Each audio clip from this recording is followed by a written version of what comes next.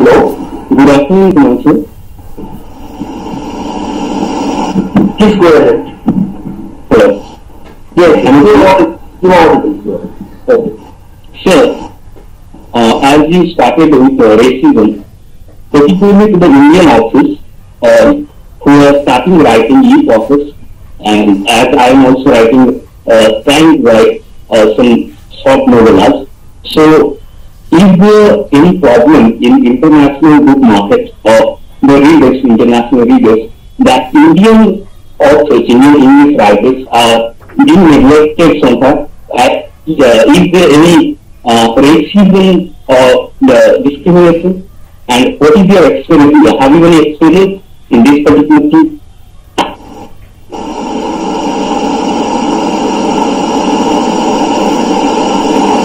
Can you hear me?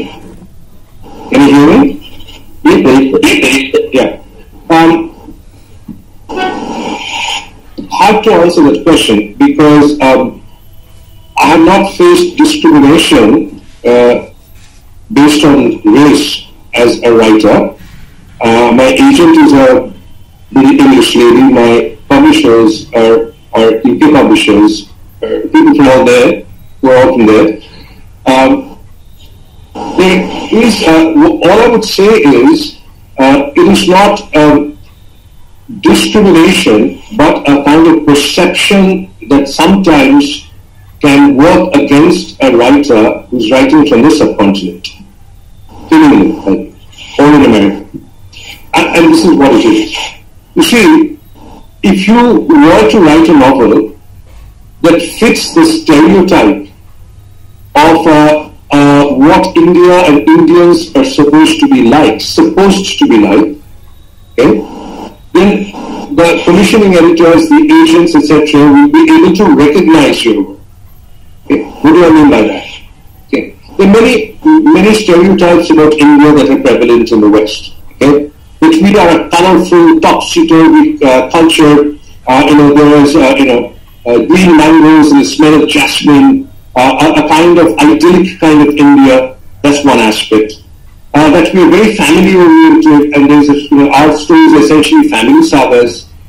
Okay, uh, it could be uh, uh, some, some perceptions of that we Indians, particularly in the 21st century, after globalization and opening up on the markets, Indians are horribly competitive. They're corrupt. Uh, they are, you know, they are able to anything to get ahead in life the kind of stuff that you read in ordinary novels. Okay.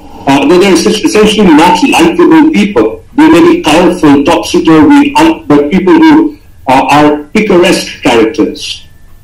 Okay. Now, if your novel fits that sort of uh, perceptual framework, you have a greater chance of acceptance. But people will say, oh, this is an Indian novel. This is about India.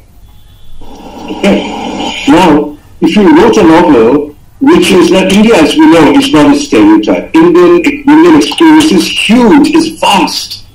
All kinds of characters, all kinds of events and situations that happen here. Okay? If you write a more nuanced novel about India, if you do not demonize Indians, then you have a problem. Then you have a problem.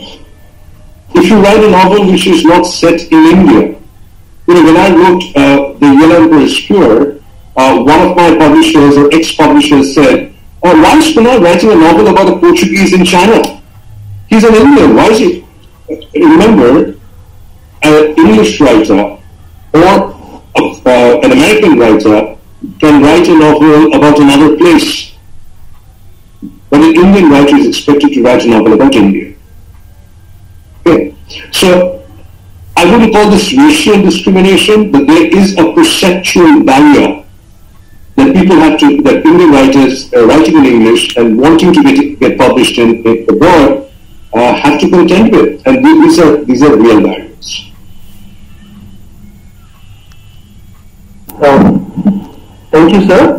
There is, uh, there is another question from uh, Dr. Antara Mukherjee, who is an assistant professor of English at the College. Uh, why is it important?